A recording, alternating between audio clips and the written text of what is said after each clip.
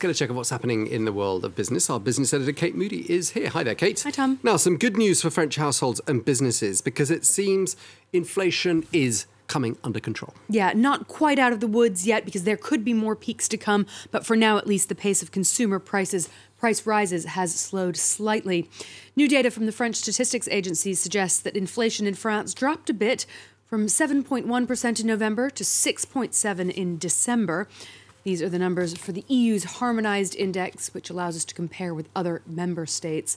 Energy cost around 15% more than it did a year earlier. Uh, that's also slightly less than the previous month, while food inflation remained stubbornly high at around 12%. There have been similar modest falls in economies like Germany and Spain.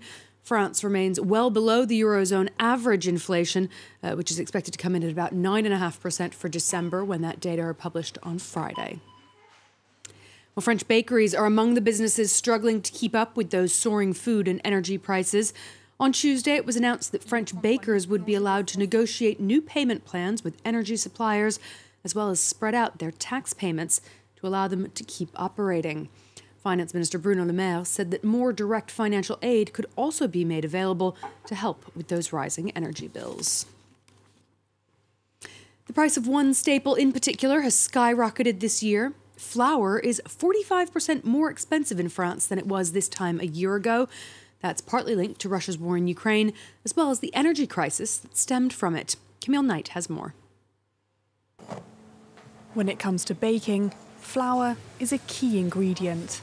But for the past few months in supermarkets, prices have skyrocketed. This mill in northern France produces about 40,000 tonnes of flour, and though the wheat is harvested locally, it costs 50% more than it did a year ago. There are two main reasons for this price increase the Russian Ukrainian war, because they're two countries that produce a lot of wheat, and also because the wheat market is globalized and based in Chicago. So it doesn't matter what price the farmer wants to sell for. Everything is negotiated in the US. Adding to the final cost, the wheat is put through these machines for it to be ground down to flour, a process that consumes a huge amount of electricity. Here we go, it's all ground up. Yes, it really requires a lot of energy. When you add up the number of grindstones and the number of motors that we need to power the whole mill, it's a very large number of motors. In a year, the mill has seen its energy bill multiplied by six, with on top of that an increase in packaging and transport costs.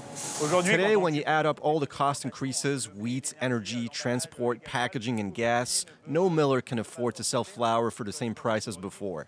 That's why the whole sector has seen huge increases for 2022, which impacts buyers and then consumers. Flour is one of the food products that's seen the steepest price increase, meaning baking this year might not be such a piece of cake. Well, in the UK, food prices rose at a record pace of over 13% in December. That's according to a new report from the British Retail Consortium. Overall inflation in the UK stands at 10.7%. That's slightly off a 40 year high. Economists have said that the cost of living crisis will mean the UK suffers one of the worst recessions in the developed world this year, with Goldman Sachs predicting the British economy will contract, will contract just as much as Russia's this year. In his first major policy speech of the year, Prime Minister Rishi Sunak said that addressing those issues were among his top priorities. First, we will halve inflation this year to ease the cost of living and give people financial security. Second, we will grow the economy, creating better paid jobs and opportunity right across the country. Third, we will make sure our national debt is falling so that we can secure the future of public services. Facebook and Instagram's parent company Meta is facing two fines totaling 390 million euros in Ireland. Irish regulators said the social media giant's advertising and data handling practices were in breach of EU privacy laws. They said Meta should bring its operations in line with the EU's GDPR regulations within three months. Meta has said it will appeal that ruling.